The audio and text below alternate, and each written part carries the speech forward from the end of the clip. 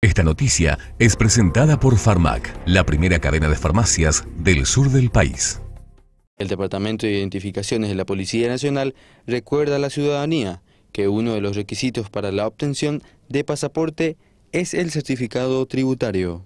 Uno de los requisitos para la obtención o para la solicitud del pasaporte es el certificado de tributario, tributario, ya sea para contribuyente o no contribuyente, la fotocopia de cédula de identidad y el costo es de 206.600 guaraníes. Eh, ¿Por qué sería el certificado tributario uno de los requisitos?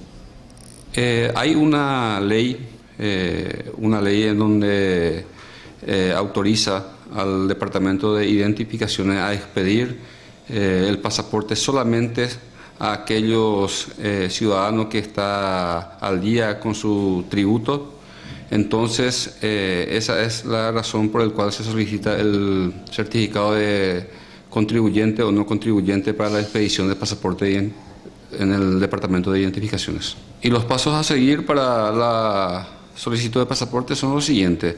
Eh, tienen que traer el certificado de contribuyente o no contribuyente, la fotocopia de cédula de identidad paraguaya y el costo de 206.600 guaraníes. Los certificados de cumplimiento tributario se pueden obtener de forma gratuita desde el sistema Marangatú.